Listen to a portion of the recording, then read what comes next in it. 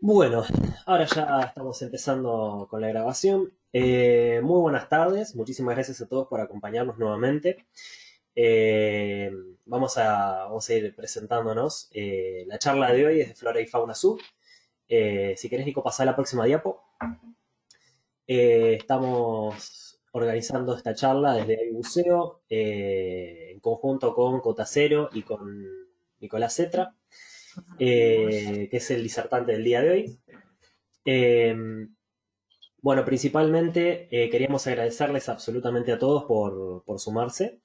queríamos avisarles que al final de nuestra charla vamos a estar haciendo un sorteo entre todos los participantes. así que, bueno, manténganse con paciencia hasta el final de la charla. Y bueno, pásame la próxima, la próxima diapo. Eh, así hacemos las debidas presentaciones. Así, les, así después les avisamos quiénes ganaron. bueno, particularmente ahora vamos, vamos, con, la, vamos con, la, eh, con la introducción de nuestro disertante de hoy. Eh, acá tenemos a Nicolás Cetra, que lo pueden ver ahí en la cámara. bueno, Nico es licenciado en Biología Marina, eh, realizando su trabajo de tesis en nudibranquios. Es investigador y docente en la Escuela Superior de Ciencias Marinas de la Universidad Nacional del Comahue. Eh, a su vez también es instructor nacional de buceo eh, por la Escuela Nacional Cota Cero, que también nos están acompañando ahí Claudio y, Lau de, Cota Cero en la charla esta. también es Master Paddy, fotógrafo aficionado, que van a ver que la parte de aficionado se queda un poquito corto por las fotos que ha sacado el muchacho. Eh, y también es guía de excursiones de buceo, náuticas y de avistajes desde el 2013 en Cota Cero. Así que desde acá en más le cedo la palabra a Nico. Eh, y bueno, y es importante esto también recordárselos a todos. Cualquier duda que tengan pueden escribirla por el chat y eh, nosotros vamos a ir buscando el momento justo para poder ir haciendo las consultas a Nico sin, sin cortarlo demasiado durante, durante su, charla. Así que, Nico, dale para adelante, arranca tranquilo. Buenísimo, Tincho, gracias. Buenas tardes a todos. Eh, bueno, más o menos eh, algo dice el título de lo que vamos a hablar, pero básicamente es flora y fauna submarina. Eh, principalmente lo que yo les voy a mostrar es, son fotos de las especies que se pueden encontrar principalmente eh, acá en las rutas donde estamos nosotros, ¿sí? si bien el título dice Patagonia es un poco más eh, abarcativo, eh, las especies generalmente son bastante comunes y se comparten a lo largo de toda la, de la Patagonia, pero bueno, para tener en cuenta las que les voy a mostrar ahora son particularmente de acá de, las rutas. como vamos a hablar de flora y fauna, y a mí generalmente me gusta arrancar como para darle un orden, una línea a, a las charlas, eh, arrancar desde lo más chiquito, ¿sí? como lo dice ahí en el, primer título, de micro a macro, o sea, ir de lo más chiquito a lo más grande. Eh, o sea que vamos a arrancar con la, flora y fauna más simple, la menos compleja, y nos vamos a ir de a poquito, pasando por los grupos, eh, sumando un poquito de complejidad. vamos a arrancar con lo que es el zoo y fitoplancton, que ahí dice el, título, que es lo que nos escapa a la vista, ¿sí? tal vez los han sentido nombrar de, oído, ¿sí? pero muy pocas veces o pocos casos podemos lograr verlos. Después vamos a hablar un poquito de flora submarina, em, de María Roja, que seguramente, más que nada, los que, son, somos usos tienen idea de más o menos de a qué se refiere. Y después sí, ya vamos a arrancar con animales, arrancamos con las esponjas, que son los más simples, después seguimos por poliquetos, moluscos, nudibranquios, equinodermos, y así vamos a ir pasando por todos los grupos de, animales, ¿sí? aumentando siempre en complejidad. Bueno, vamos a arrancar con lo que les decía recién. Eh, lo que nos escapa a la vista, el sol y el fitoplancton. Eh, lo pongo al principio, primero porque son uno de los, es el grupo de, animales y, plantas, y zoo quiere decir animales, y fito viene de, plantas. Y es todo lo que nos escapa a la vista, porque son todos muy, muy, muy chiquititos. Más allá, por más eh, que no se vean o que no los podamos reconocer a simple vista, son muy importantes porque son la base de toda cadena trófica o de todo proceso trófico en el mar. O sea que si no estuviera esto, no se pueden seguir desarrollando los siguientes eslabones o los siguientes animales, digamos, que dependen o se alimentan de estas especies. Cuando hablamos de fitoplancton, hablamos principalmente de microalgas, ¿sí? son generalmente unicelulares, que si miramos acá, ¿sí? acá tienen generalmente los, las cosas verdes, hacen referencia a las algas, y cuando hablamos de zooplancton son animales chiquititos, como por ejemplo eso que parece una mini langosta, ¿sí? hablamos de animales muy, muy chiquititos. Bien, acá tenemos dos cosas interesantes, que seguramente las han sentido nombrar algunos, y las, las otras, las que están en la foto de atrás, seguramente los usos siempre nos llaman la atención. Y son las mareas rojas y ese efecto de bioluminescencia que se ve en el fondo, ¿sí? ese color azulado, que son las, las nuclilucas.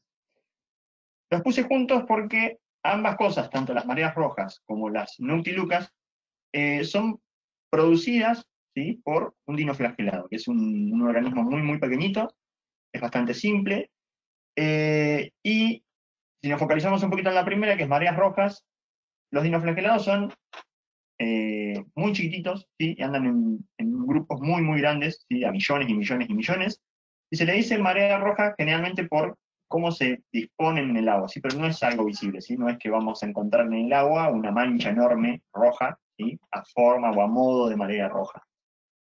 Eh, se le llama así generalmente por el tipo de y como para reconocerla rápidamente, de la forma que nos puede llegar a afectar a nosotros es a través del consumo de mariscos. Ahora los vamos a ir viendo, algunos bivalvos, principalmente bivalvos, que son moluscos, se alimentan de estos dinoflagelados, los conservan en el cuerpo, y hay algunos que para nosotros tienen alguna cierta toxina o algo nos puede llegar a producir algún tipo de, patología o, enfermedad. Y la foto que ven atrás, que se llaman Noctilucas, es el nombre común, ¿sí? también es un dinoflagelado, y lo que tiene es la particularidad que con el movimiento genera bioluminescencia. ¿sí? Es muy común generalmente en aguas cálidas, pero más allá de eso, acá en, la Patagonia y en las grutas, principalmente obvios, en, en buceos nocturnos, se pueden ver cuando aleteamos o movemos el agua, aparecen estos dinoflagelados con una luminescencia media blanca o azulada. Bien. Pasando de, hablamos de zooplancton, fitoplancton, nos concentramos un poquito en esos dinoflagelados, que por ahí son los que han sentido nombrar, y nos vamos a focalizar un poquito en las algas, que son los productores primarios multicelulares, digamos, y que son grandes y que son visibles. Obviamente de todo esto que vamos a empezar a hablar ahora, hay un montón de formas diferentes, un montón de tamaños, colores, eh, formas, especies, y son muchísimas especies, cada una tiene su nombre particular científico y un nombre común. Nosotros vamos a ir manejando con el nombre común y voy a ir resumiendo muchísimo la información. ¿sí? Entonces, arrancando con las algas. Las algas, como para agruparlas a, gran, un gran modo o a grandes rasgos, tenemos tres grupos principales que vienen dados por el color que presenta la alga. ¿sí? Fíjense que tenemos eh, de este lado algas verdes, que obviamente son de color verde, algas rojas, que son de color rojo, y después tenemos algas pardas, ¿sí? que son las de color pardo. ¿sí? Generalmente las algas, eh, perdón, las algas verdes y las rojas son un poco más chiquitas que las algas pardas. Las pardas son, por ejemplo, una que se está conociendo mucho en, Patagonia, es la undaria, es esa que genera los bosques, esos de algas enormes, que sombrean el fondo y están generando problemas en lo que es biodiversidad, porque son, al sombrear el fondo, todo lo que la vida que necesita de luz o de no tener nada arriba para poder vivir, el efecto de, de sombreado del alga que hace sobre el fondo hace que la eh, diversidad vaya disminuyendo un poco.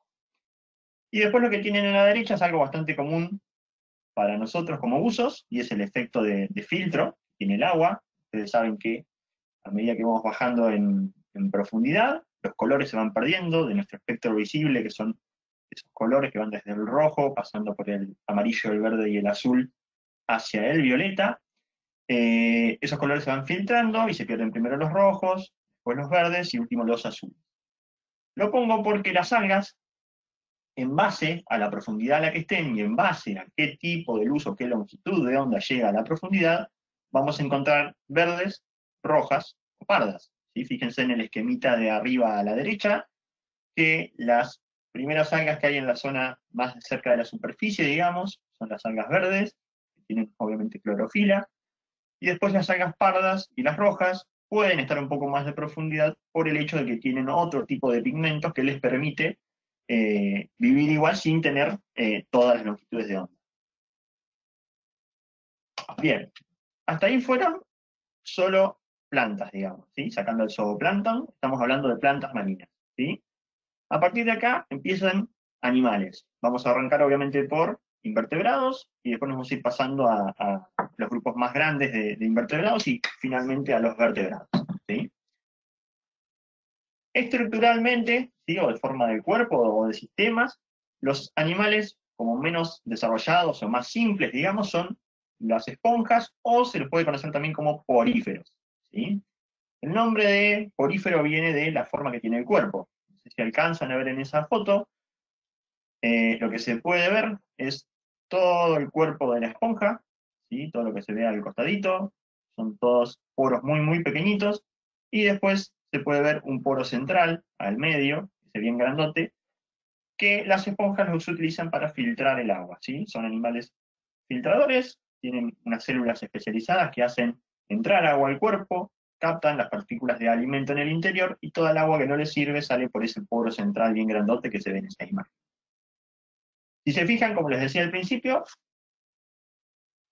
hay un montón de formas, tamaños, colores. Fíjense que ahí yo puse tres de las más comunes, las que más se desarrollan, pero todas conservan esta característica o esta particularidad de que tienen el cuerpo cubiertos de poros y en alguna parte, generalmente más alta de la esponja, aparecen estos poros más grandotes que se llaman ósculos.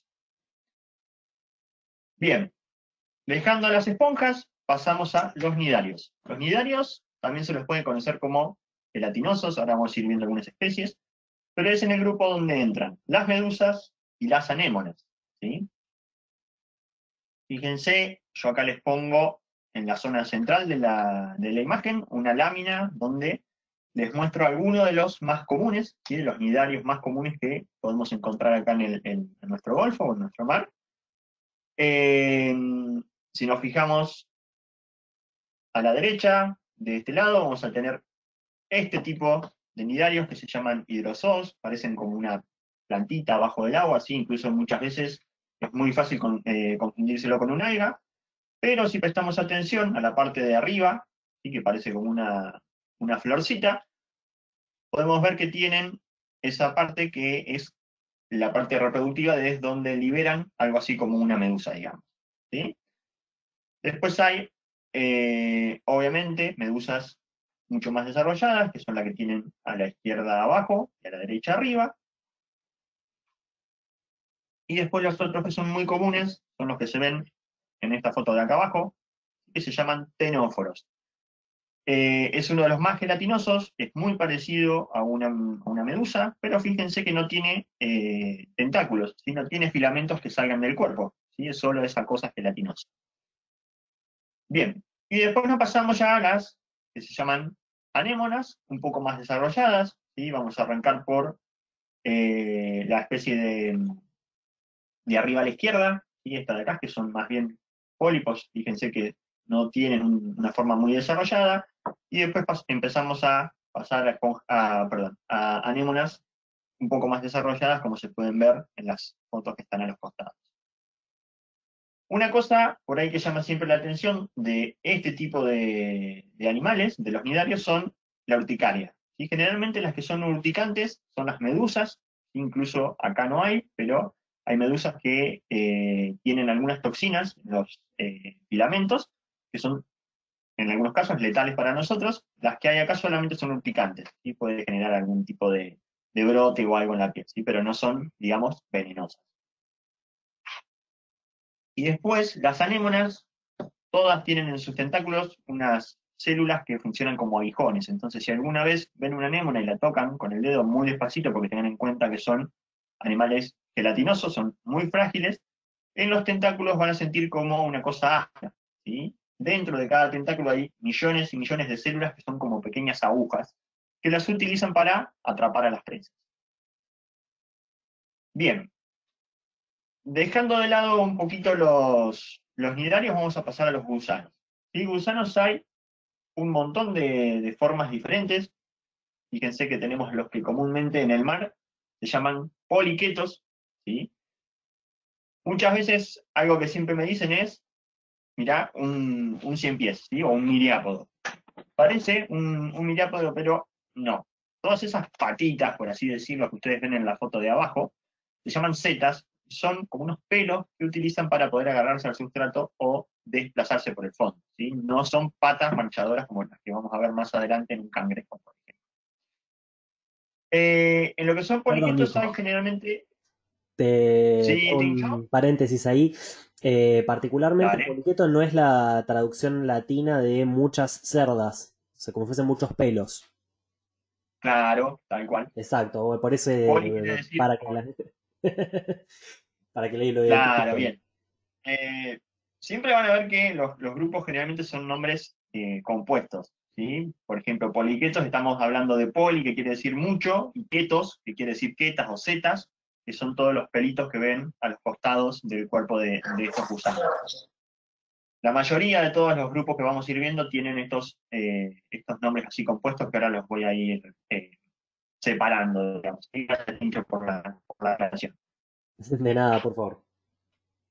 Bien, les decía, tenemos dos grandes grupos de poliquetos o de estos gusanos marinos, donde están los errantes, que es el, si ven en la lámina, es la parte de arriba, ¿sí? Esta de acá. Eh, errantes quiere decir que pueden desplazarse, digamos. Y después están los tubícolas, que son los de abajo, que generalmente viven enterrados. La principal diferencia entre los dos es que los errantes eh, son más bien carnívoros o comen materia en descomposición. ¿sí? Fíjense que incluso ahí se ve uno con unas mandíbulas muy, muy desarrolladas, el del medio.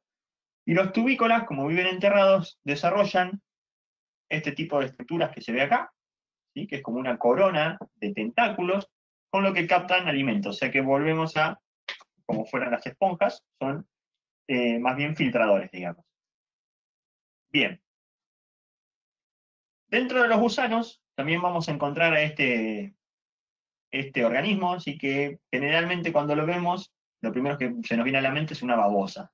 En realidad no es una babosa, es un gusano, se llaman gusanos turbularios, o si quieren, para hacerlo de una forma más, más común, es un gusano chato, plano, y el nombre común con el que se conoce a, este gusano es bailarina española. Algo que llama mucho la atención de este tipo de animales es este tipo de movimiento. ¿sí? No solo que se desplazan por el fondo, sino que tienen la capacidad de mover el cuerpo así como haciendo ondas y moverse un poco en la columna de agua. ¿sí? No es que va a ir desde el fondo hasta la superficie, pero pueden desplazarse un poquito en, en- en altura de agua, digamos. Bien. Perfecto. Ahora vamos a arrancar con dos grupos de, o tres grupos, mejor dicho, de invertebrados que son muy diversos, muy grandes, Moluscos, eh, dentro de los moluscos están todos los invertebrados que tienen el cuerpo blando. ¿sí? Ahora vamos a ver que, por ejemplo, hay moluscos, que yo los voy a diferenciar así, moluscos que tienen una concha o una conchilla que cubre esa parte eh, esa parte blanda, digamos, del cuerpo, y moluscos que no tienen concha, que nunca tienen conchilla, por lo que tienen toda la parte blanda del cuerpo al descubierto. ¿sí? Vamos a arrancar con los primeros, con los que sí tienen concha o conchilla, y tenemos los quitones. Los quitones o poliplacóforos, ¿sí? vieron como hoy Martín recién me dijo poliquetos, quiere decir poli de muchos, queta de setas. Los quitones se llaman poliplacóforos. ¿Por qué se llaman poliplacóforos? Si ustedes se fijan en la foto de la izquierda, poli nuevamente quiere decir muchos, placófora viene de placas, perdón. Entonces, si se fijan, los quitones siempre tienen el cuerpo cubierto por ocho placas. ¿sí? Tienen, eh, acá adelante estaría la, cabeza, digamos, y si van hacia atrás van a contar siempre ocho plaquitas. ¿sí? Y fíjense que acá tengo una foto donde hay muchos y todos tienen las ocho placas. ¿sí? Hay especies diferentes, formas diferentes, colores diferentes, pero todos conservan esa particularidad de que tienen las ocho placas. Bien. Nos vamos a pasar, seguimos con los moluscos, a los bivalvos. Venimos hablando de los que tienen conchilla, los poliplacóforos tienen muchas valvas, ocho plaquitas arriba del cuerpo, Los bivalvos, bi viene de dos, valvo viene de valvas, ¿sí? bivalvos quiere decir que tienen dos valvas o dos conchillas, ¿sí? como dos tapas, y que cierra una arriba de la otra. En la lámina nuevamente del centro tienen las especies más comunes, y si se fijan arriba están el Mitilus, ese que el, el primero, ¿sí? que hace referencia al mejillón, este de acá, después está la cholga, que es esta, que generalmente la cholga, la forma que la podemos ver acá en Patagonia es como está acá, ¿sí? la cholga genera como un tapiz del fondo, donde muchos, muchos individuos se aglomeran unos al lado del otro, incluso arriba del otro, y ese colchón de cholga sirve como sustrato, ¿sí? como eh, soporte para un montón de especies más. ¿sí? Fíjense que en esta foto de acá, ¿sí? de la derecha, eh, alcanzan a ver que abajo están todas las valvas de las cholgas y arriba hay infinidad de otras especies. ¿sí? Hay anémonas, hay pólipos, se ven algunos caracoles, eh, otros organismos que los vamos a ver un poquito más adelante. Y después la otra que está de este lado, ¿sí? que es esa especie de ahí, ¿sí? la vieira, es esta que se ve a la izquierda. Eh, esa la, puse, no, es, eh, no era común hasta hace muy poco tiempo y ahora ha empezado a aparecer de vuelta. Eh, particularmente, seguro, eh, por ahí Claudio, en, en, las charlas anteriores que estuvo dando, que eran de, de los buques, ¿sí? del parque submarino acá de las grutas, han empezado a aparecer muchas y entonces es fácilmente verlas. Y el resto de los bivalvos, ¿sí? generalmente estas de acá abajo, son almejas, y no es muy común verlas porque al ser almejas viven enterradas, viven bajo el sedimento. Y lo único que sacan son como un tubo, que se llama sifón, que es por donde se alimentan, eh, eliminan desechos y eh, respiran. ¿sí? Por eso tal vez no es tan fácil ver las valvas. Bien. Dejamos los bivalvos y nos pasamos a este otro grande grupo que se llama gasterópodos. Los gasterópodos, como para ponerle un nombre común, son los caracoles. ¿sí? Van a ver que este grupo es muy, muy diverso. Fíjense que nuevamente en la lámina del medio tienen un montón de formas diferentes, de colores, de tamaños diferentes. Eh, yo les puse de nuevo los más comunes. ¿sí? Si se fijan acá, ese caracol es bastante común, vive generalmente sobre cholgas. Incluso eso que están viendo ahí es el caracol alimentándose de la cholga, así que está abajo, no sé si se alcanza a ver bien. Los caracoles son todos la mayoría eh, carnívoros y algunos comen eh, materia muerta, pero otros hacen lo que está haciendo ese caracol, que es posarse sobre la presa y tienen una estructura en la boca que es especializada para poder perforar la valva y alimentarse de lo que está dentro de las dos valvas, que es la parte blanda de, del molusco, o del bivalvo. De este lado, este caracol que tienen acá es uno de los más grandes, se llama Adelomelon, es un caracol realmente grande, generalmente está en aguas bastante profundas, ¿sí? pasando los 20 metros, por lo que tal vez no es muy común verlo, pero sí es común verlas en la valva, ¿sí? la conchilla que generalmente se vende como eh, artículos decorativos, digamos, pero lo que sí es muy común ver es esto que tienen acá, que generalmente suele aparecer en las costas, en la playa, ahí donde estoy haciendo zoom, eh, que es una oteca, una, una ovicápsula se llama, es como un, una cápsula y dentro de esa cápsula hay un montón de caracolitos, ¿sí? es como un huevo, digamos. Muchas veces aparece transparente o roto en algún lugar, entonces eso quiere decir que los caracolitos ya han nacido, pero si se fijan justo en esa foto, la foto está levantada y está atrás luz, todas esas manchitas negras o más oscuras, digamos, que se ven en el centro, eh, son caracolitos que se están desarrollando y una vez que tengan el tamaño y la forma adecuada, salen de dentro del cascarón como un juvenil, digamos, un caracol chiquitito. Bien. Después, fíjense que esta foto la puse al principio de la charla, pusimos de lo micro a lo macro, de lo chiquito a lo grande. Lo que ven ahí es un caracol bastante espiralado, es muy, muy, muy chiquitito. Fíjense que lo que se ve al lado son granitos de arena, ¿sí? La arena son como mini piedritas, no sé si alguna vez vieron arena con una lupa, pero es muy, muy chiquitito.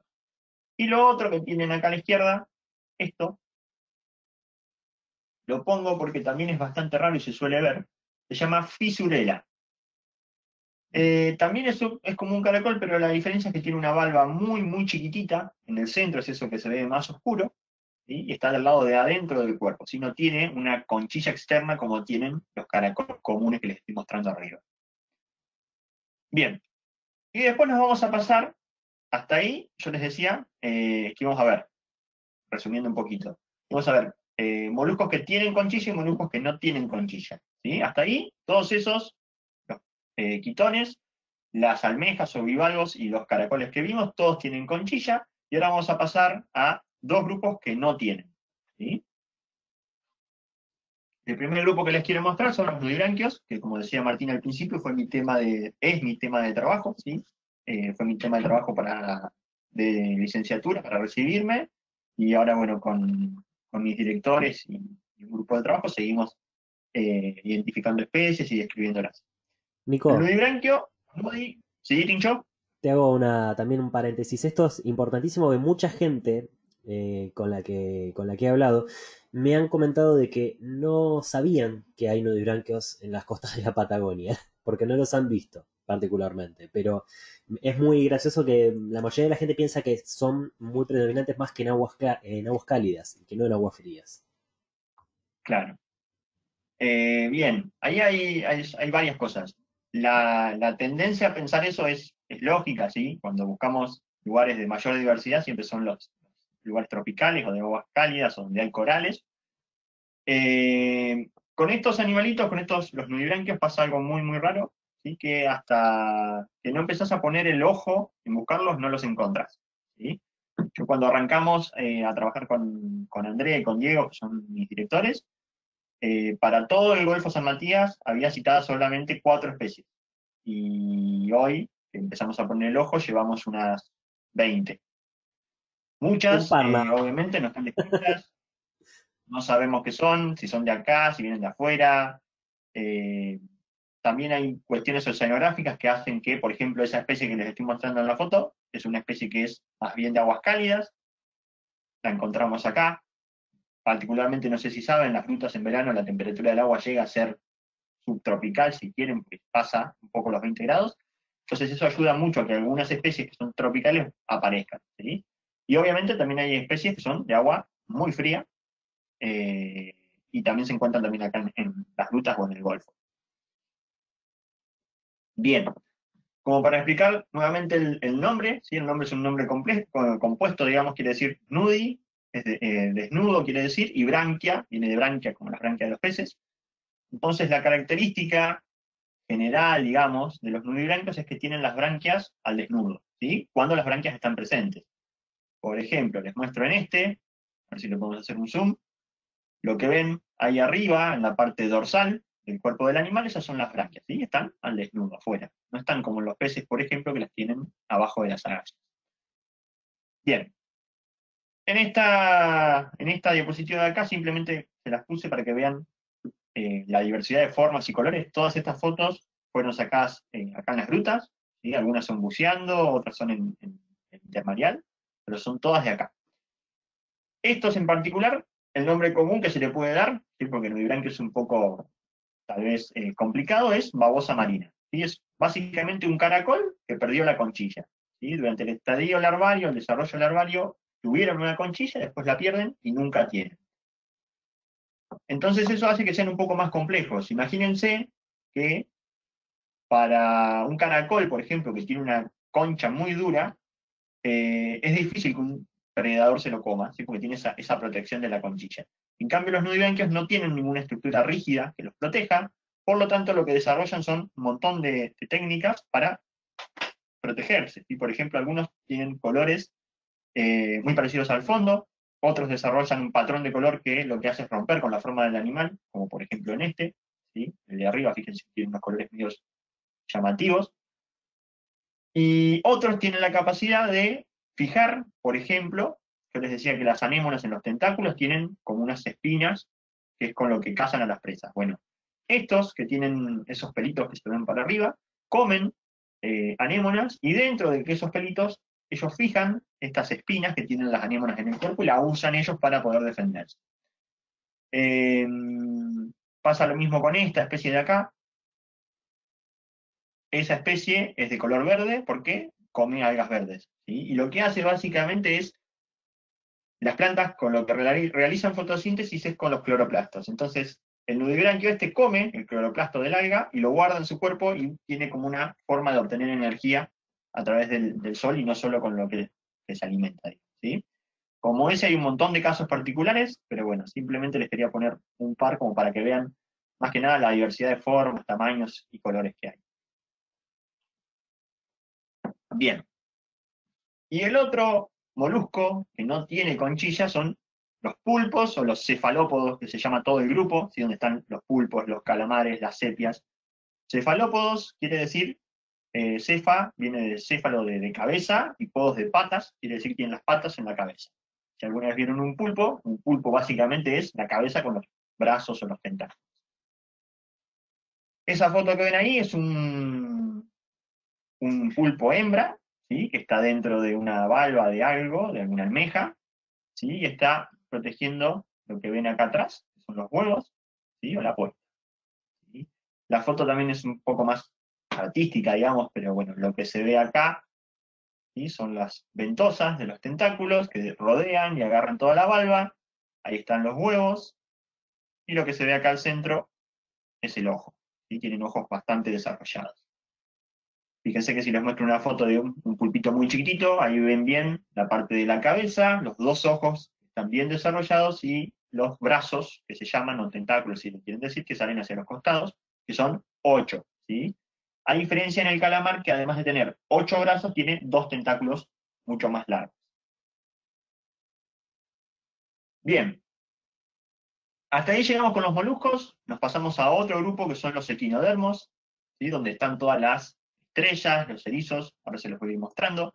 El grupo que pri- primero les quiero mostrar son las estrellas.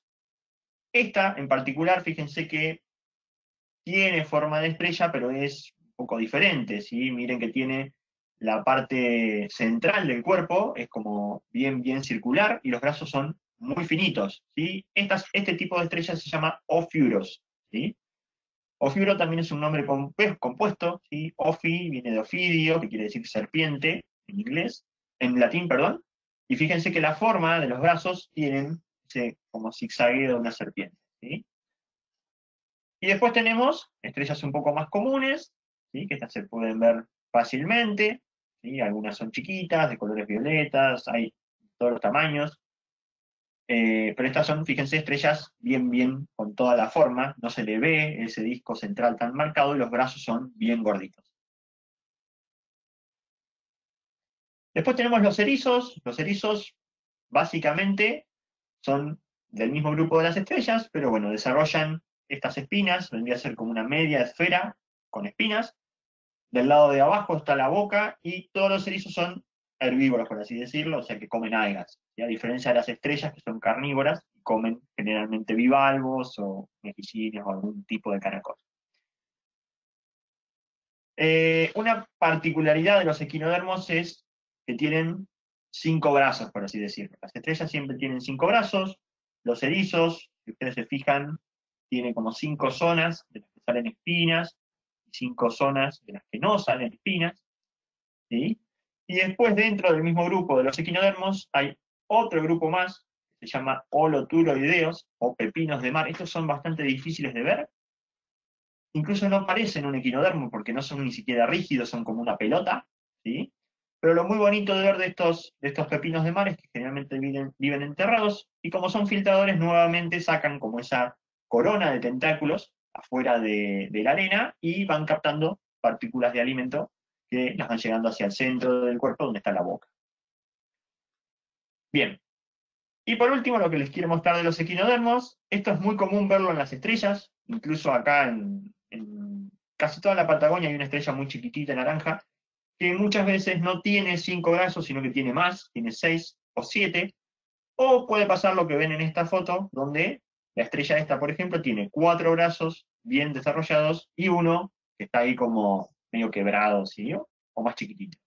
Si le hacemos un zoom, un detalle a esa foto, pueden ver que, perdón, ese brazo se ha quebrado, acá, por algún tipo de razón, y nuevamente está desarrollando el brazo que perdió.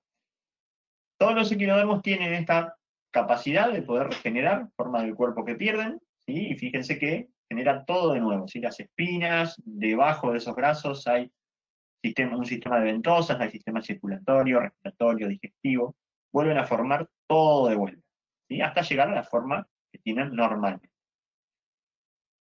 Bien, y vamos con el último grupo de invertebrados, que es donde están los crustáceos.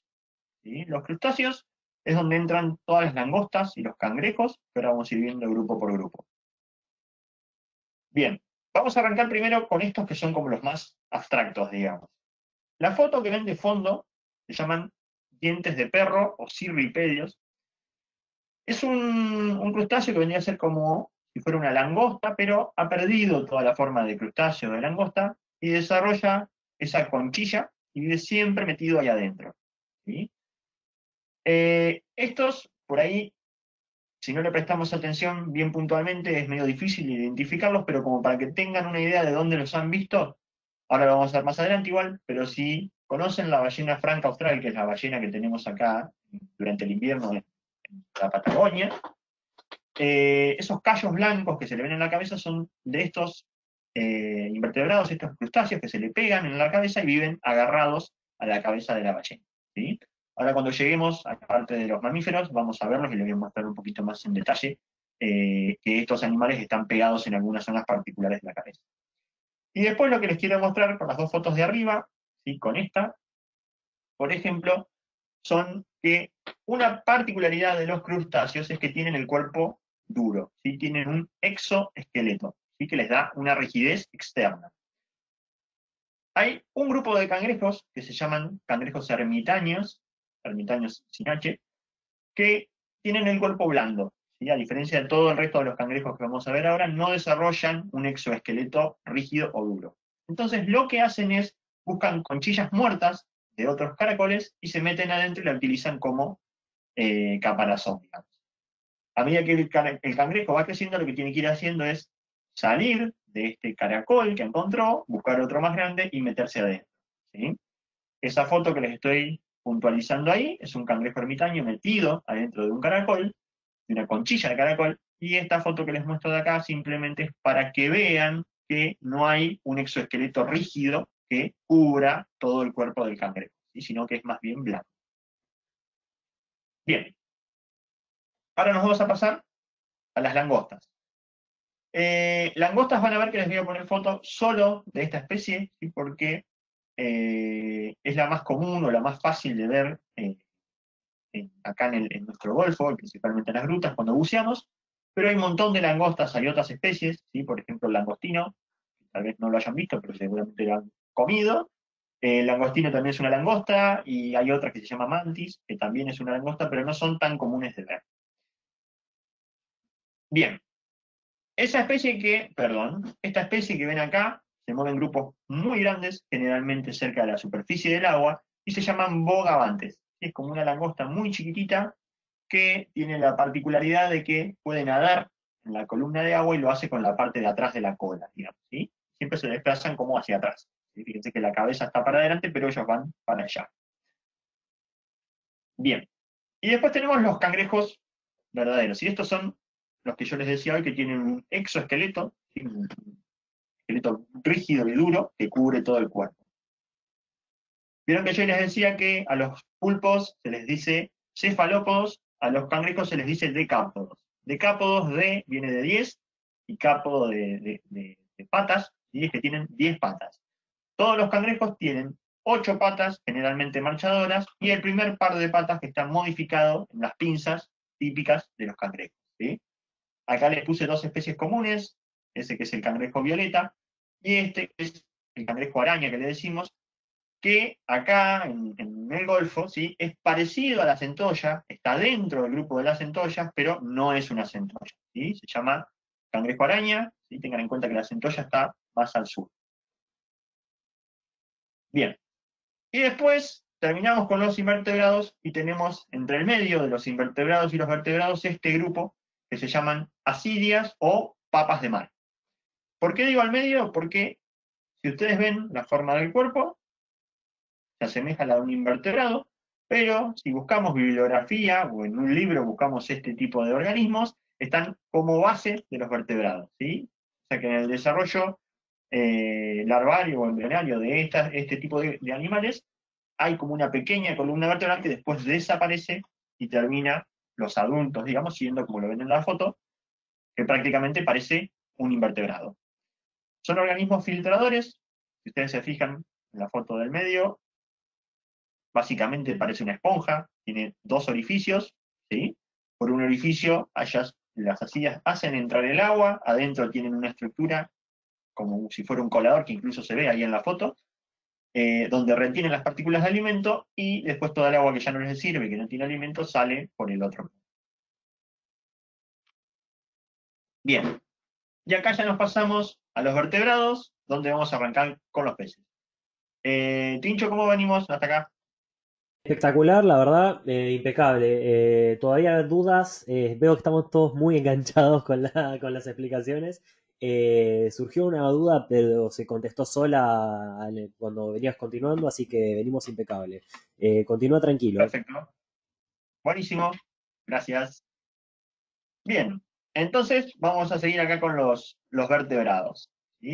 Con los peces pasa lo mismo que les comentaba al principio, que hay un montón especies diferentes. Yo sé que los que han venido a bucear conocen un montón de especies.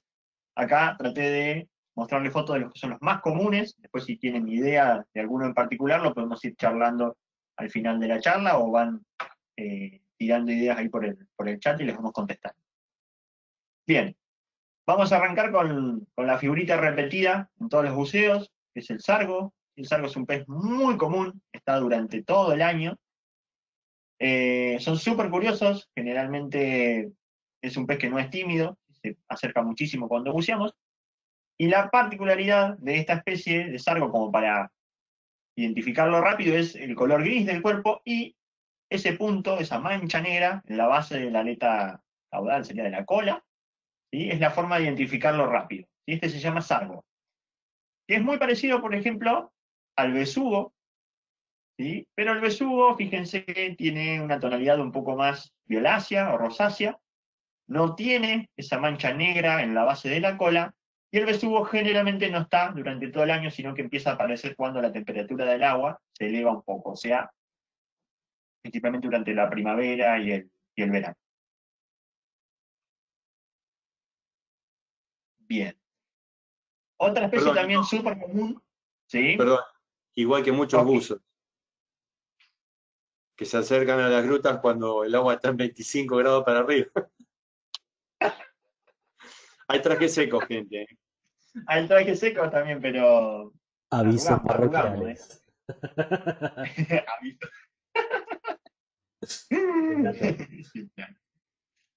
Bien. Eh, dado el aviso de, Oscar, seguimos con, el, con este, este pez que es bastante común también, se llama cocherito, ¿sí? Se los voy a marcar porque justo acá hay dos peces, está este y este, que es del que estamos hablando.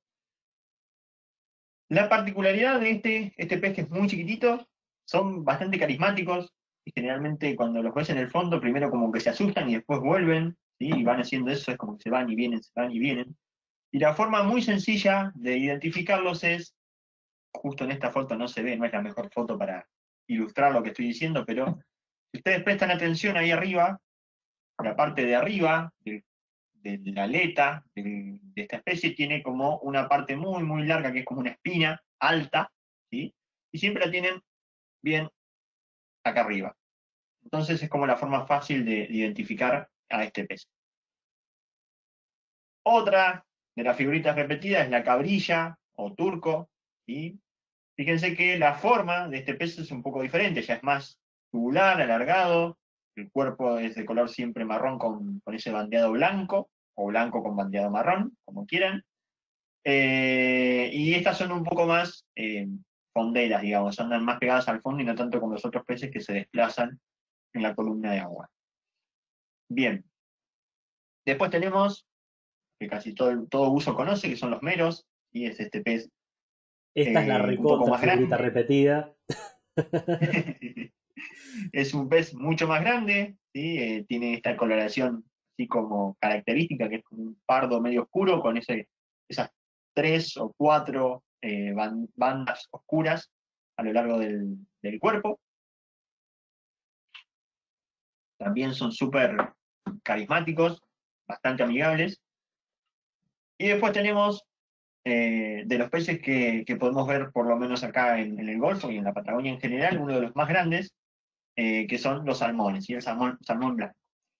Eh, esta especie, cuando se establece en un lugar, es bastante común de verla, porque al ser territoriales, ellos eligen un lugar en el fondo y se quedan en ese lugar. Eh, son de amigarse bastante rápido, al principio medio tímidos, pero después se amigan bastante rápido. Y generalmente desaparecen, lamentablemente, cuando los pescan. Si no, una vez que se establecen en un lugar en el que les gustó, se quedan ahí. Y llegan a tener un tamaño realmente grande. Bien, y acá les voy a poner unas tres o cuatro fotos de especies de peces que no son comunes de ver, pero sí aparecen. Por ejemplo, el de la izquierda, que no es un pez wow, re bonito, pero es raro, ¿sí? Se ve. Esta es la que generalmente le decimos vieja del agua. Esta foto está sacada de noche. Durante el día viven enterradas y lo único que se puede llegar a ver en la arena, si prestamos mucha atención, es la parte de arriba de la boca y los dos ojos. Y de noche tienen un poco más de actividad. Lo que ven a la derecha es un lenguado.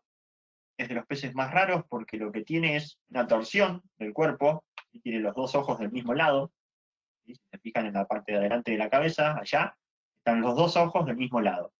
Casi siempre viven como nadando muy pegados al fondo y fíjense que tienen un color muy parecido, y por eso son bastante raros de poder verlos. Y después tenemos este que el nombre común es chanchito, le decimos, es un pez que no se ve mucho, pero es muy bonito. ¿sí? Vamos a marcarlo porque por ahí está muy oscura la foto, es este que se ve acá. Y este rompe un poco con la forma del cuerpo de un pez común, fíjense que es como más alto adelante y más eh, fino o delgado en la parte de la cola. Y después venimos con el pez que generalmente a todo el mundo le parece el más bonito, pero no es muy común de ver, que es el caballito del mar, el hipocampo. Eh, incluso muchas veces la gente duda si es un pez o no, porque obviamente no tiene forma de pez. ¿Sí? Tiene esta cola más alargada, la parte de adelante de la cabeza, digamos, como en forma de trompa, la aleta dorsal está como muy eh, reducida, o sea, rompe con la, la forma del, del cuerpo de un pez. ¿sí? Nico. Estos son difíciles de ver, ¿sí, Oski? Perdón, eh, hay una pregunta con respecto a la foto anterior que, que era lo que tenía en los ojos la vieja del agua. No sé si era un efecto de la luz antes. Bien, Ahí va. En esta foto. Eh, como para puntualizar un poquito, la boca es esta, acá están los dos ojos. ¿Y qué sucede? Como el animal, el, el pez, digamos, vive bastante tiempo enterrado, los ojos sobresalen un poco del cuerpo, son como saltones, y todo lo que ven acá, todos esos puntitos, son órganos sensoriales, son, tienen un nombre medio raro, pero es con lo que captan movimientos en la arena o en, o en la superficie sobre ellos, y generalmente si han visto un documental o un, un video de, de estos peces, son los que cuando pasa un pececito por arriba salen despedidos y agarran muy rápidamente, bueno, como no tienen una vista muy desarrollada, desarrollan otro tipo de, de sistemas, como son esos puntitos, eh, todos órganos sensoriales. Nico, te quería hacer una consulta. Ahí Eh, particularmente, perdón, ¿eh? Eh, este animal es muy, está emparentado, puede ser con el que se llama Stargazer, que es el que se entierra justamente y está mirando constantemente hacia arriba eh, para justamente tratar de agarrar Claro, la es-. O sea, taxonómicamente no están cerca, pero es del mismo grupo de, de peces, sí. Ok, Tipo, tienen el los mismos hábitos de vida, la misma forma de cazar, sí.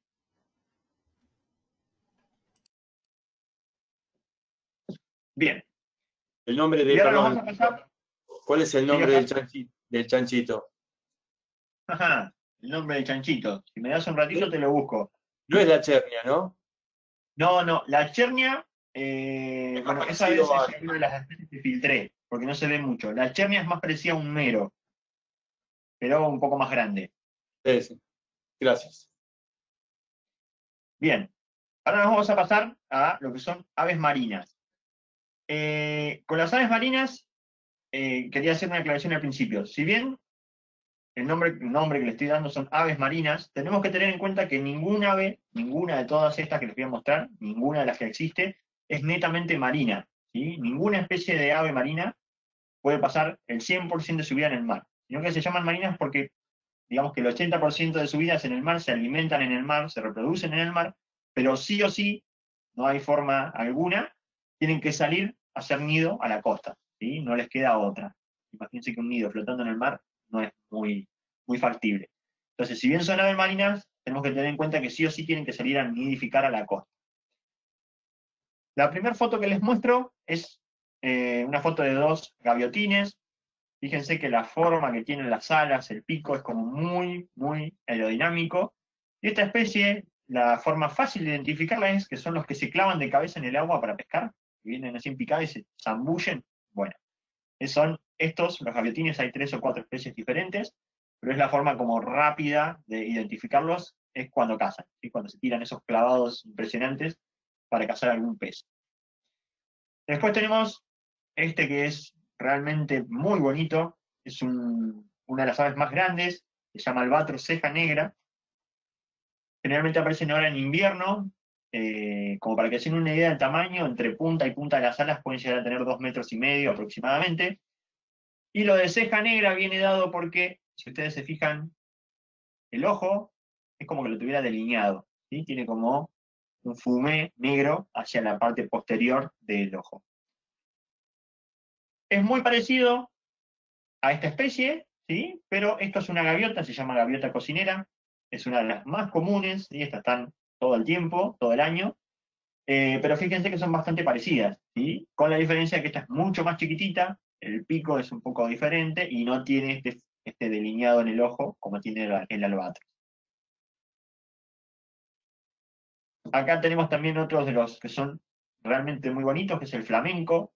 Y el flamenco, eh, lo que llama mucho la atención de esta especie es el color ese rosado que tiene, que viene dado por eh, lo que se alimentan. Se alimentan de unos crustáceos muy, muy chiquititos, se llaman anfípodos, que tienen una coloración rojiza. Y entonces, comer esos anfípodos rojizos le da ese color rosado fuerte eh, al cuerpo. Incluso si ustedes buscan alguna foto de un juvenil, de un pichón de los flamencos son de un color más grisáceo, porque todavía no han comido mucho, mucho, como para poder tener esa tonalidad rosácea divina que tienen. Bien, y acá tenemos otros dos, son muy comunes. Eh, a la izquierda, en la parte de arriba, tenemos al ostrero, que lo muy típico de esta especie es el pico bien robusto y alargado, color rojo. Y del otro lado tenemos, acá abajo, al petrel, que también es un ave enorme, muy grande, un poco más grande que el, albatros. Eh, y este, lo, lo curioso del petrel es que es súper curioso. Sea, estás en el bote parado en algún lugar, en alguna boya buceando, y si pasa al lado del bote, va a frenar en el agua y viene y se acerca muchísimo. Son un poco intimidantes porque es muy grande, fíjense el pico que tiene, que parece que te va a arrancar un dedo, pero es un ave muy, muy bonita. Y obviamente tenemos el, pingüino de Magallanes, que generalmente aparecen muchos en invierno, pero ahora durante todo este año pasado, lo hemos estado viendo durante todo el año, incluso algunas, eh, algunos se han visto también en verano, pero principalmente vienen en invierno. El pingüino de Magallanes, lo bien típico es el color negro y blanco que tiene en el cuerpo, eh, y generalmente andan en grupos así muy, muy grandes.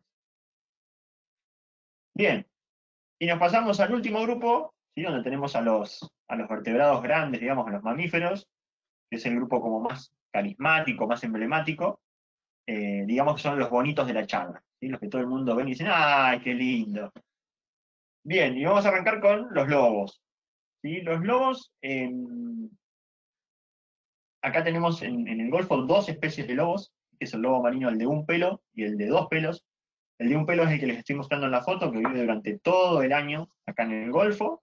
Y el de dos pelos es un poco más chiquito y aparece principalmente en invierno, más o menos junto con las ballenas. Lo que les quería remarcar de los lobos, y lo mismo pasa con todos los lobos y las focas, es lo siguiente, lo que está en esta foto. Al igual que las aves marinas, yo les decía que sí o sí las aves para poder nidificar tienen que salir a la costa. Los lobos marinos, por más que sean marinos, sí o sí tienen que salir a la playa a descansar. Incluso las loberías o donde tienen las crías son en la costa. Entonces, esto lo marco porque muchas veces la gente dice, cuando ve un lobito solo alejado en la playa, lo que trata de hacer es que el lobo vuelva al mar. Y si el lobo salió a la playa es porque probablemente quiera descansar. No es que sí o sí tiene que estar en el agua.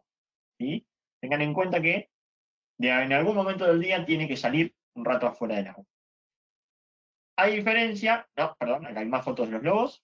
¿sí? Bueno, estos también, hoy lo hablábamos con, los chicos, pero ¿quién no ha buceado acá en, las grutas o en la Patagonia y tener un lobito eh, así de cerca, como les muestro en la foto? Son súper curiosos, súper juguetones. Eh, la común es que te mordan las aletas, ¿sí? por eso son un poco intimidantes por el tamaño, pero no hacen nada, ¿sí? no, son agresivos, nada por el estilo. Nico. Digamos que son el, perrito del, mar. Sigo aquí. Eh, hay una pregunta, ¿cómo se diferencian o cómo uno puede diferenciar al lobo de un pelo y dos pelos? Más allá del obvio, ¿no? Bien. la primera diferencia es eh, el tamaño. El lobo marino, el de un pelo, es mucho más grande que el de dos pelos. Y después, como una forma rápida de, diferenciarla es ver el hocico. Lo que ven acá en la, foto en primera plana, el hocico o la trompa del lobo marino de un pelo es romo. ¿sí? Digamos que es como un perro boxer. y Tiene el, hocico bien cuadrado. Y el lobo marino de dos pelos lo tiene como más en punta, más al estilo perro salchicha, digamos, ¿sí? como más alargadito. Eh, y después algo que suelen hacer los lobos marinos de dos pelos, cuando están en el agua, es, cuando lo ves de lejos, sacan las aletas de la superficie, se agarran las aletas pectorales, que serían la cola, digamos, con la aleta mm, caudal, perdón, al revés, la caudal es la cola, y sacan todas las aletas afuera del agua. Es como una forma rápida de, de identificarlos si los vemos de lejos. Pero la diferencia es esa, el tamaño y el hocico. Bien, Ahora nos pasamos a los delfines. Eh, los delfines obviamente son mucho más estilizados. Eh, la particularidad, de los delfines es que tienen dientes, y generalmente son eh, animales que cazan muchísimo. tienen dientes muy desarrollados, ahora les voy a ir explicando un par de cosas. Delfines en todo el Golfo, acá podemos ver tres especies que son comunes, donde tenemos, valga la redundancia, este de acá arriba, que es el delfín común, donde lo característico es ese bandeado que tiene de colores en el cuerpo, donde predomina el color gris oscuro en el lomo, y esos bandeados, ese veteado claro en la parte ventral, digamos. Y después tenemos este que está acá abajo, que es un delfín un poco más costero, que se llama delfín nariz botella, o turcio, o como le dicen acá, tonina. Tonina es como un nombre aceptado, digamos, pero la tonina en realidad es un delfín mucho más chiquito que está más al sur y es color negro y blanco. ¿sí? Pero bueno, eh, dentro de todo está bien decirlo tonina porque es un delfín. Si nos focalizamos un poquito en el delfín nariz de botella, acá en el Golfo San Matías hay una población que es estable del Golfo, que vive en el Golfo, eh, de unos 90 individuos más o menos. Eh, y como para, por ahí, el que no lo ubica, es el delfín típico de, los acuarios, el, de la película Flipper, alguno seguramente la ha visto, eh, es ese delfín en la nariz de botella. Y el delfín común, lo, fantástico de este delfín, además del color y de, la forma que tienen de navegar, es que se mueven en grupos muy numerosos, muy, muy numerosos. Fíjense que ahí en la foto está, obviamente, es un encuadre de, de lo que había de la manada. Hay muchísimos en esa foto y la foto sí podría seguir mucho más hacia la izquierda y hacia la derecha. Se mueven en grupos muy, muy grandes. Bien, y acá les pongo esta para terminar con los delfines y para arrancar con, lo que sigue, que son las ballenas. Lo que tenemos ahí en imagen es una orca. La orca eh, es conocida comúnmente como ballena asesina. Bien, ahora, ¿por qué digo que me sirve para arrancar con el otro grupo que son las ballenas. Yo les decía recién que los delfines, todos los delfines tienen dientes. Y las ballenas, no sé si saben, tienen barbas. No tienen dientes. Tienen como unos filamentos que caen de la parte superior de la boca y digamos que las utilizan para filtrar el alimento. Los delfines no, los delfines muerden y desgarran carne. La orca es uno de los delfines más grandes, ¿sí? por eso también el, hecho de que le digan ballena, pero no es una ballena. Y tampoco es asesina. La asesina viene dado por eh, la forma en la que cazan. No sé si alguna vez vieron una foto o un video de cómo cazan una orca. Son súper, súper inteligentes, se mueven en grupos de 6, 7 y, tienen la capacidad, por ejemplo, de tirar a una foca de arriba un témpano de, hielo. Eh, muchos intentos eh, pueden hacer. tienen un funcionamiento así como de comunidad muy complejo, tipo un sistema de enseñanza, aprendizaje con las crías, son animales que la verdad son muy, muy, muy desarrollados. Eh, pero bueno, lo que quería destacar es eso, que más allá de que le digan ballena asesina, es el nombre común de este delfín, no es una ballena, es un delfín. Y ahora sí, vamos con las ballenas, donde la ballena que les voy a mostrar acá es la ballena franca austral, que es la que se puede ver ahora durante todo el invierno.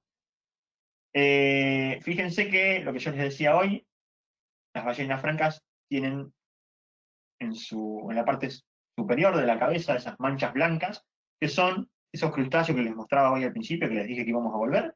Bueno, son esos crustáceos que se le pegan al cuerpo de la ballena, no le hacen nada, viven pegados ahí, no es que son parásitos, ni le sangre, ni nada por el estilo, la utilizan como un sustrato. ¿sí?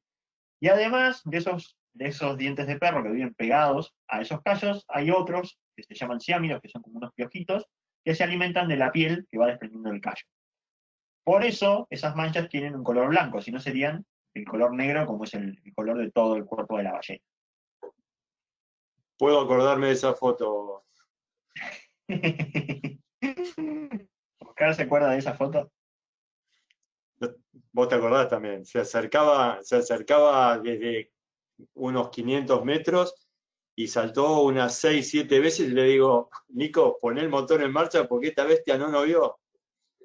Este, y se fue, esa creo que fue, si no fue la última, fue la anteúltima foto, pusiste el motor en marcha y, la ballena ahí recién este, derivó sobre la banda de estribor de la, de la embarcación y, profundizó el susto que nos pegamos.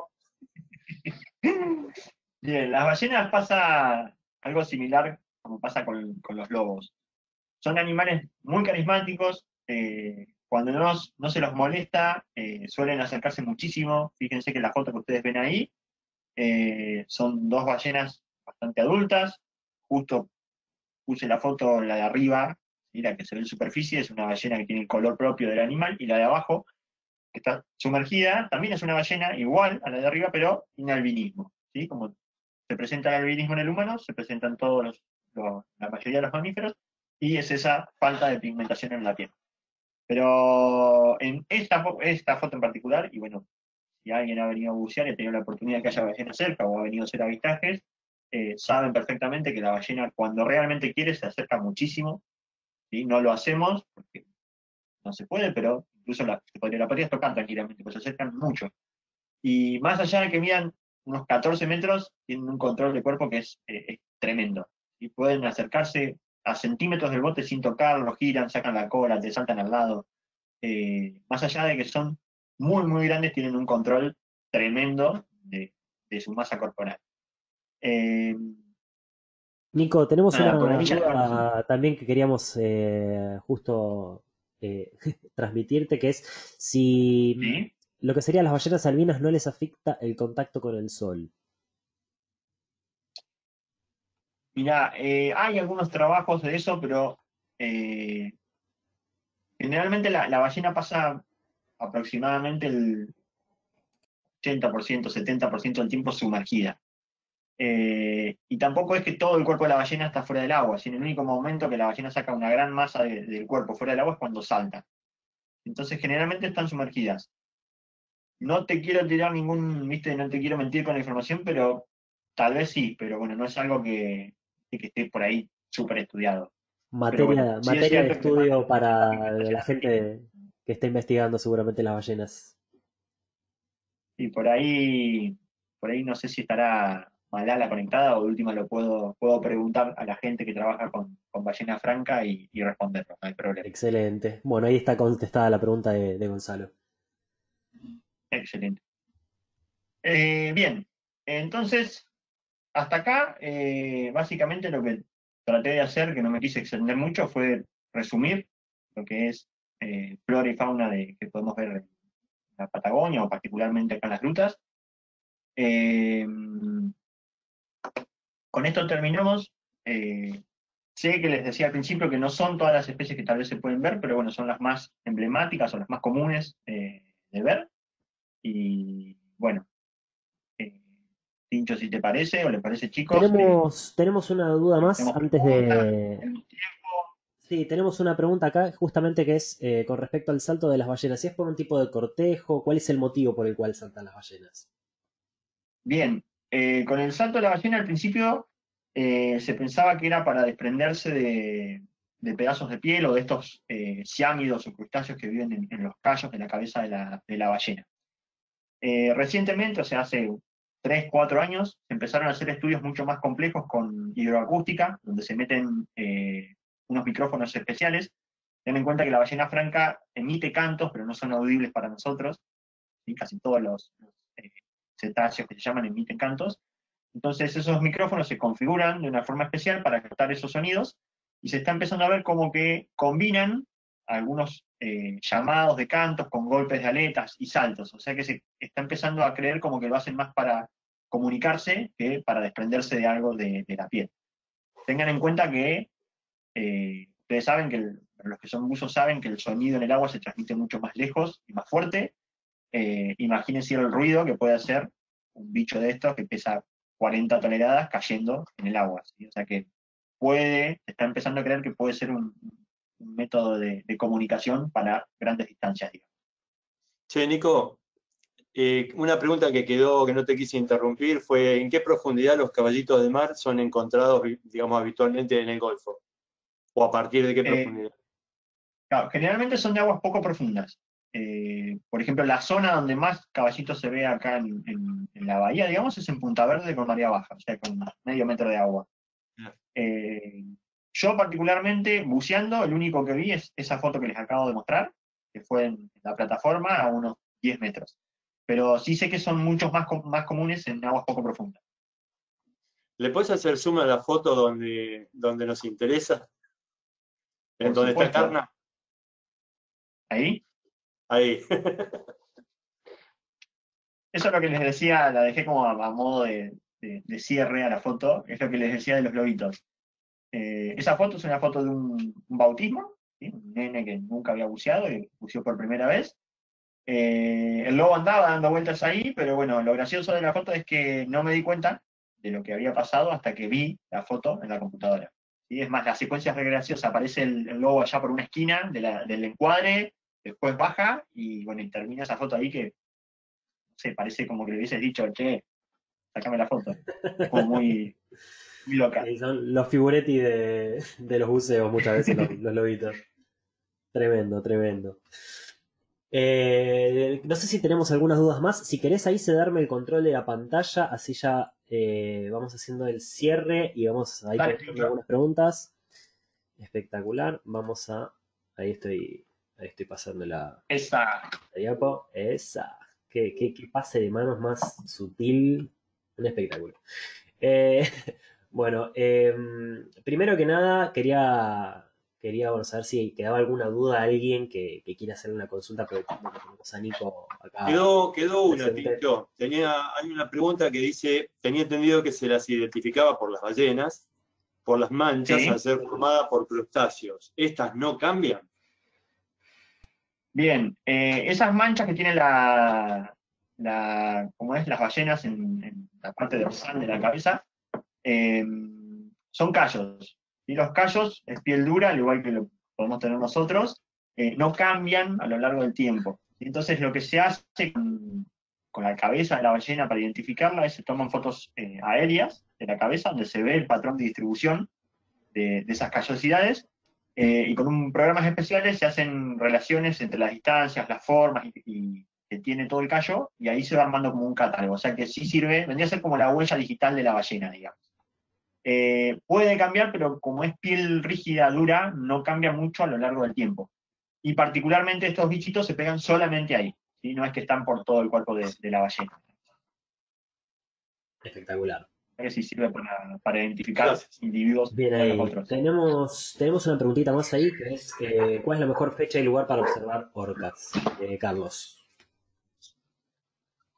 Y el lugar por, por excelencia para, para observar orcas es en Punta Norte, en Península Valdés.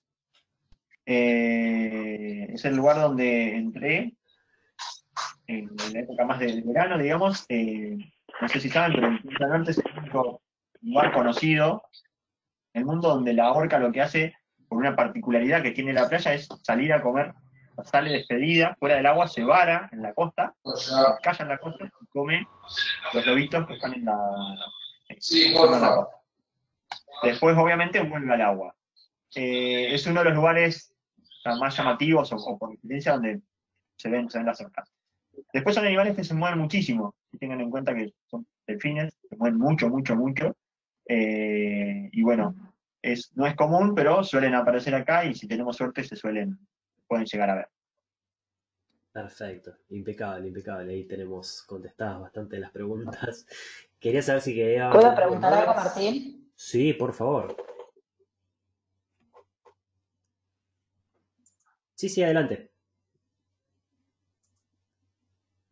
Bueno, ahí se nos ha quedado. Quiero, quiero preguntarle a Nico. Ahí está. ¿Puede ser? ¿sí? ¿Cómo no? Sí, sí. ¿Me escuchás, Nico? sí, sí, te escucho perfecto. Bueno, nosotros estuvimos en Jamaica hace un par de años. ¿Los microorganismos luminiscenses son los mismos Sí. que están ahí? Eh, o sea, el, el grupo de organismos es el mismo. Y tal vez la especie es diferente, pero el grupo de organismos es el mismo, sí. Ok, porque es una maravilla. Sí, son divinos. Obviamente acá no, no generan, no hay densidades tan grandes como para generar lo que, lo que les mostré en la foto. Y la foto esa obviamente es a internet. Pero es muy común en un museo nocturno tapar la linterna para generar oscuridad y mover la mano y empieza a por todos lados. Nosotros no lo hicimos buceando porque íbamos en barquitos, era una laguna, pero solo con levantar el agua y tirarla era algo que parecía purpurina, una maravilla. Por eso Es debe ser magnífico verlo. Sí, hay, hay incluso en, en lugares eh, donde, hay mucha, mucha densidad de esto, donde, por ejemplo, esto lo he visto en, algún documental, eh, marca hasta la estela del nado de un delfín. O sea, cuando el delfín rompe del agua, marca la estela que va dejando. Es, es maravilloso. Maravilloso. Gracias. No, por favor. Muchísimas gracias. Ahí tenemos. Bien, quiero saber si quedó alguna otra duda más o menos colgada por las dudas. Más que nada para no continuar eh, con la extensión de la charla en demasía y yo puedo ir haciendo eh, los sorteos correspondientes. Así, si quedó alguna duda. Sí, Si no es molestia, eh, Simón, que tiene ocho años, ¿puede hacer una pregunta a- al profesor Z? Sí, por favor. Iván, ¿me ¿por escuchás? como el, te- el tiburón pueden durar toda su vida sin salir a tomar aire de la tierra y los como las ballenas y los delfines pueden ir a tomar aire? Muy bien. ¿Se escuchó la Muy pregunta? bien. Buena pregunta, se escuchó excelente. Algo que la verdad que no puse en, en- en la presentación son los tiburones, ¿sí? A los condrictios o cartilaginosos, como se llaman. Los tiburones eh, vendrían a ser como, Branquias. claro, son peces, entonces respiran por branquias. Y todos los delfines, los lobos y las ballenas son mamíferos como nosotros, o sea que tienen pulmones. Tienen la capacidad de estar mucho tiempo debajo del agua porque tienen pulmones muy grandes, pero sí o sí tienen que hacer lo mismo que nosotros. ¿sí? Por ejemplo, si vos te metes en la pile, cuando metes la cara debajo del agua, aguantás la respiración. Cuando no tenés más aire, sacás la cabeza afuera del agua y respirás. Eso hacen todos los mamíferos marinos que nosotros vimos, los lobos, las ballenas y los delfines. Los tiburones son como los peces, tienen eh, branquias, entonces respiran con oxígeno que hay en el agua. Muy buena pregunta. Muchas gracias. Muchas gracias ahí, Seba, por la, por la duda y Simón, que, que también nos está ahí escuchando. Eh, bueno, eh, si no, si no quedaron ahí más dudas pendientes, de última cualquier cosa, si, si queda alguna duda, obviamente nos pueden escribir. Yo ahí en el chat les dejé el- lo que sería el Instagram de Nico, es Nicolás Cetra. Lo estoy escribiendo nuevamente. eh, Nicolás Cetra. Ahí lo van, a, lo van a poder encontrar y si le quieren hacer cualquier consulta, tranquilamente pueden evacuar sus dudas eh, a través de él. Si no, nos pueden mandar un mail a nosotros a info.avibuseo.com y también les responderemos las dudas. Vamos a pasar en este momento, eh, primero que nada, antes del sorteo en vivo, agradecerle a, a Nico eh, esta, esta disertación. Esta, la verdad que fue una charla muy, muy interesante. A mí me, me pareció fenomenal. Sobre todo el hecho de poder eh, aprender un poquito más con respecto a las, a las especies que son nuestras, que, que están en nuestros mares. eh, y que bueno, que justamente tenemos que, en estas situaciones como la que estamos viviendo ahora, tenemos que respetar mucho más y en- entender que estamos nosotros más prestados acá eh, en, este, en este planeta y, y que tenemos que aprender a convivir con todas las especies que, que componen el. Eh, particularmente las, las que componen nuestros mares y que Martín, nos- discúlpame. nos. Sí, Martín. cómo no, Claudio. No, fíjate que hay una pregunta interesante en el chat que me parece que cerraría, Nico se las va a contestar seguramente, eh, que dice, ¿cómo identifican a los delfines? Bien ahí, vamos con esa antes de, continuar. Bien. ¿Cómo identificamos a los delfines? El- los delfines, algo que siempre tienen, por ejemplo, a diferencia de alguna ballena, son la aleta dorsal. ¿sí? Si ustedes, eh, como decía Simón, preguntaba de Simón recién, como los delfines tienen que salir a respirar y la nariz, el, el espiráculo que se llama, lo tienen en la parte de adelante de la cabeza, siempre cuando salen a respirar sacan primero el espiráculo y sí o sí atrás tiene que salir la aleta dorsal, ¿sí? que es esa aleta puntiaguda que parece la del tiburón, digamos, eh, tiene que salir a la superficie, ¿sí? porque la forma que tiene y el nado hace que de esa, esa forma sea. Es cierto que también hay ballenas que tienen aleta dorsal, pero bueno, la principal diferencia entre un delfín y una ballena es el tamaño. ¿sí? Las ballenas son eh, mucho más grandes, los delfines son un poco más chiquitos, más estilizados, sacando a la orca, ¿sí? que les acabo de decir que por ahí tiene el tamaño de una ballena. Pero por ahí la forma más típica de, de identificarlos es esa, ¿sí? la forma que salen a respirar, sacan primero la- el espiráculo, generan el soplido y después sale la aleta dorsal, casi siempre, indefectiblemente. Impecable. Muchas, Y ahí muchas preguntan, Nico, si hay tortugas eh, de mar en, el- en Patagonia. Sí, hay tortugas de mar, hay unas cinco o seis especies, no son muy comunes, ¿sí? pero está la tortuga verde, que es por ahí ma- la más común, pero después han aparecido, eh, generalmente aparecen o, o varadas en la costa o en alguna red de pesca, eh, en algunos casos los han podido salvar los pescadores, eh, tortugas laúd, eh, algunas otras un poco mucho más grandes, pero como la común, digamos, que no se ve mucho, pero sí se ve, es la, la tortuga verde.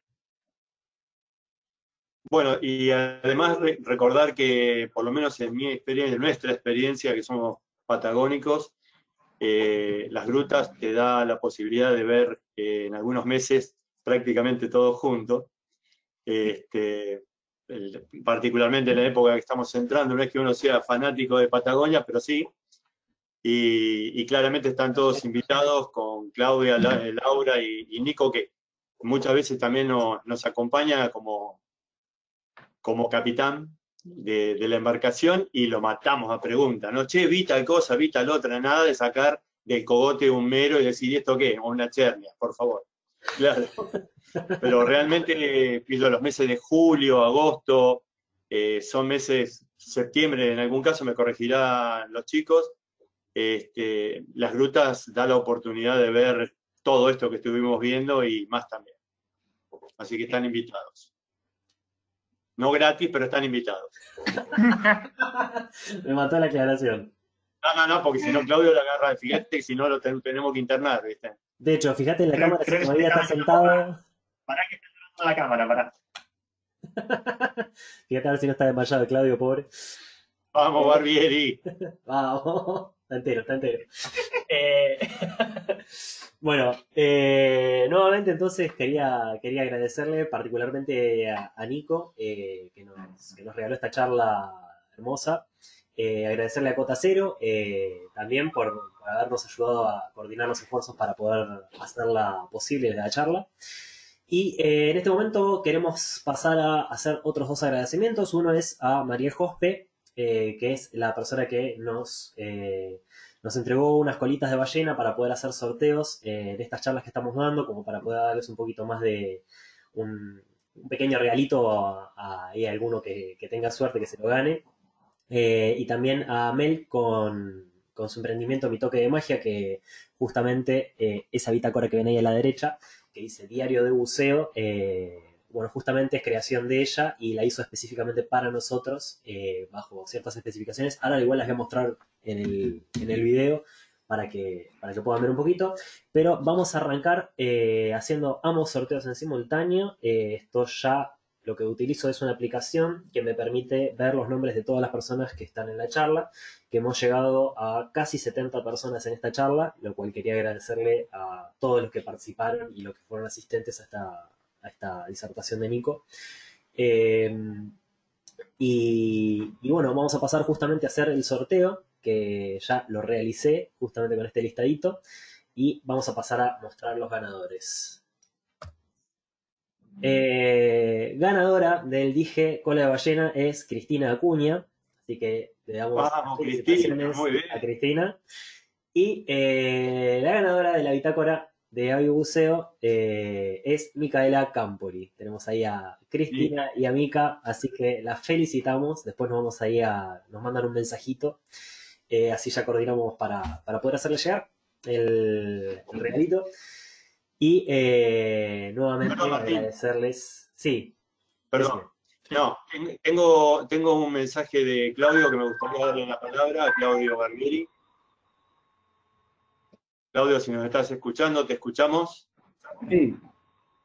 Este, nada, te decía que vamos a aprovechar para, para sortear algún buceo acá en la ruta, un buceo doble, así que Ah, molesto, Regalo. ¿qué pasó? ahora en este momento en vivo. como vos quieras, eso lo aclaró vos. Bueno, si querés, podemos hacerlo en este momento. Lo único que tengo que hacer es buscar la lista de asistentes y ya mismo hacemos Dale. un. Total estamos todos medio con tiempo. Por los próximos tres meses no tengo nada que hacer, así que. Qué grande. No creo que nadie tenga que salir corriendo en este momento. No, te creo que estamos todos, no sé, no sé ustedes, yo, Me veo muy cómodo ahí. Estamos bastante, estamos bastante parecidos. Eh, vamos a estoy aislado en un departamento, me tienen aislado en el fondo. Lo tiene ahí. Estoy desde las 10 de la mañana con, con- Ay, qué estoy desde las 10 de la mañana con mi- y Aurora, mi mujer, me dice, che, ¿y esta charla cuánto va a tardar? Y digo, calculale que no más de mediodía, 12 horas, digo. Me muero, no, esto es terrible. Igual Eh, salgo a comer, ¿viste? Yo en este momento voy a ponerle pausa a mi micrófono, eh, así que los voy a dejar un segundito, así eh, hago el. Nuevamente ingreso al, al programita, así hago el sorteo y ya les comunicamos cuál es el ganador de buceo doble, imagino, ¿no, Claudio? Un buceo doble, día de buceo sí, doble. durante la cuarentena, ¿eh?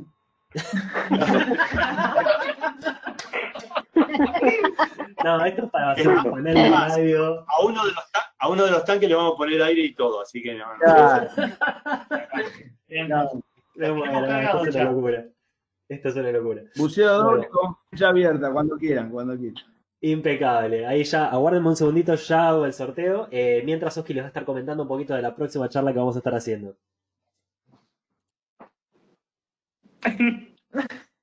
Eh, hay una querida amiga de, de la comunidad en general que se llama Daniela Ferrer, que en mi opinión es- debe ser de las personas junto con, con el alemán Krisman que más sabe de, de equipos. Daniela se fue a vivir a, México y nos va a estar acompañando el sábado que viene. Eh, básicamente dice cómo darles el respeto que se merecen a los reguladores, hablando de cuáles son las consideraciones a tener en cuenta después de, después de la actividad, después de, un día o de varios días de buceo. Eh, podemos, puede, Daniela tranquilamente ser este, todo lo técnica que ustedes quieren, quieran, eh, lo va a se va a explayar en un, digamos, con términos muy, muy, muy eh, amigables, pero si quieren algo más técnico, seguramente vamos a poder ampliar. Así que Daniela va a estar el sábado que viene con nosotros desde, allá, esta es la magia de, la cuarentena, que aprendimos a usar esta plataforma, y son fantásticas. Este, y también, por supuesto, vamos a seguir con, los sorteos, siempre con la misma, la misma tacitura. Eh, y después tenemos algunas sorpresas más para los sábados que, que siguen a, que los esperamos a todos por el mismo Vaticanal y a la misma Batiola. Bueno, ahí ya, gracias ahí por darme un, darme un cachito, eh, justamente para poder hacer el, segundo sorteo. Eh, no sé si me llegan a ver. Todavía no, Martín, no te vemos. No me llegan a ver, no importa. No, es lo de menos. para eh, lo que hay que ver. para, lo, para, lo, que hay que ver.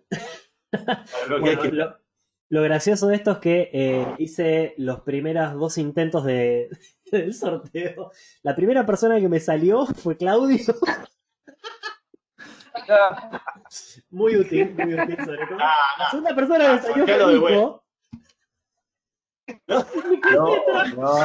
Una puntería de ellas. Así que no, no les puedo explicar la, puntería que hemos tenido. Eh, la tercera es la vencida, como dicen, la ganadora del de, eh, día de buceo doble fue Luz Salatino. Así que felicitaciones. Buenísimo. no, no, me muero. Fue muy gracioso la, los dos, las dos veces que hice el sorteo, la primera Claudio, la segunda Nico, dije listo, está. Debe ser la primera vez que gane. Claudio, Claudio. ¿Y lo pagas vos? Primera vez en tu vida que ganas algo. La primera vez, nunca en la vida gané nada. La primera vez que ganas algo y lo pagas vos. Me muero, nada, nada, terrible. Bueno. Yo estoy esperando el sorteo de la cava, Claudio. Ay, Dios, qué manera. Eh, no, eso, en cualquier momento se viene ese. ¿eh? Para la, capaz que para la próxima lo tenés. ¿eh? No, a ver, a ver, eso queremos. A ver si en algún encuentro nos contás más importante, Claudio. Esta semana tenemos permiso de navegación por primera vez, así en dos meses. que vamos a ir a mirar.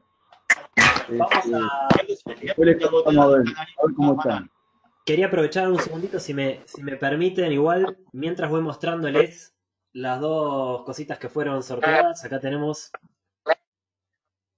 colita de ballena, la colita de bronce de ballena que hizo Mariel. Y acá tenemos, vamos a ponerlo para... Ah, ahí está, porque si no, no se va a ver por la luz. Vamos a mover la luz un cachito.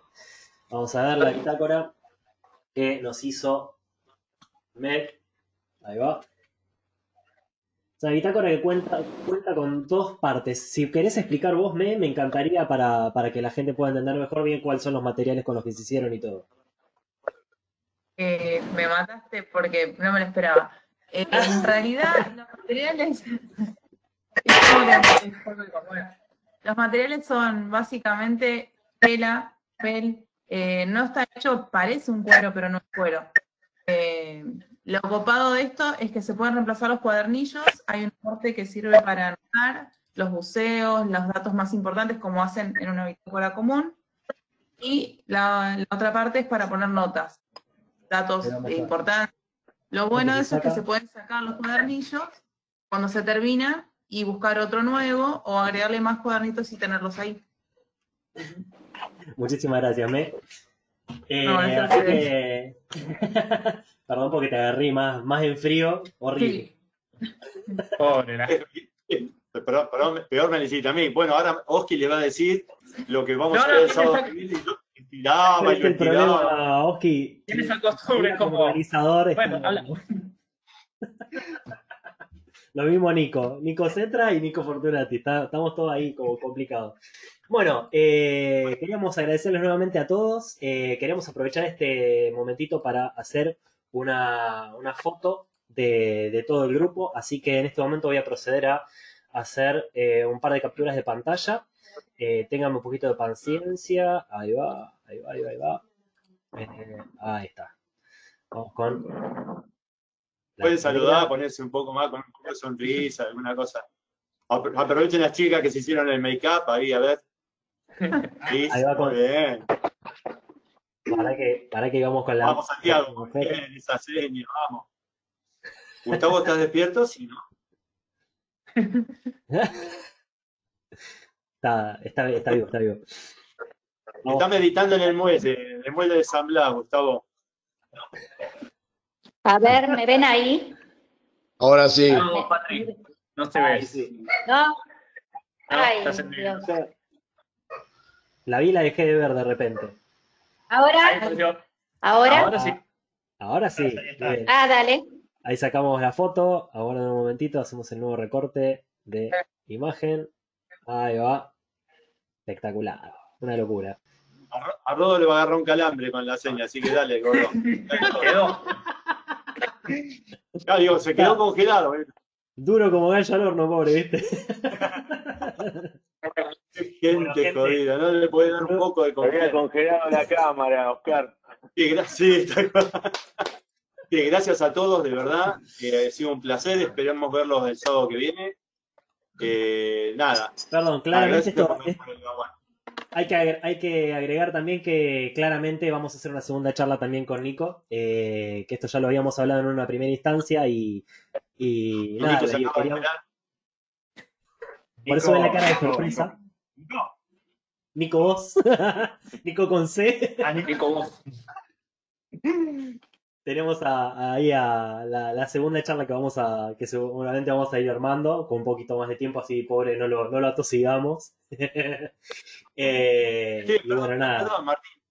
Discúlpame. Eh, Gaby Roxy, lo que tiene de atrás es un fogón. Nos estamos yendo para allá.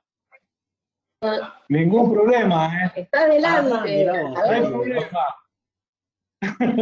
Bueno, la próxima hacemos un sorteo de un asado en lo de Gaby Roxy. Ay, Gaby Rocky. Hace falta hacer el sorteo, hay que organizarlo nomás. Vamos. Bueno, chicos, gracias por todo. Muchísimas gracias nuevamente a todos, en serio. Eh, nos estamos viendo el sábado que viene a las 18 horas para hacer la charla que va a ser de, de cuidado de equipo. Y hasta el próximo sábado. Buenísimo.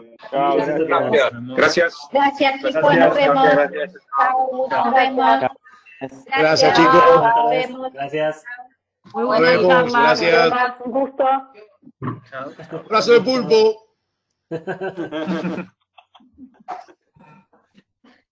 Abrazo a todos, gente. Muchas gracias. Gracias, Chao, Martín. Un abrazo. Chao.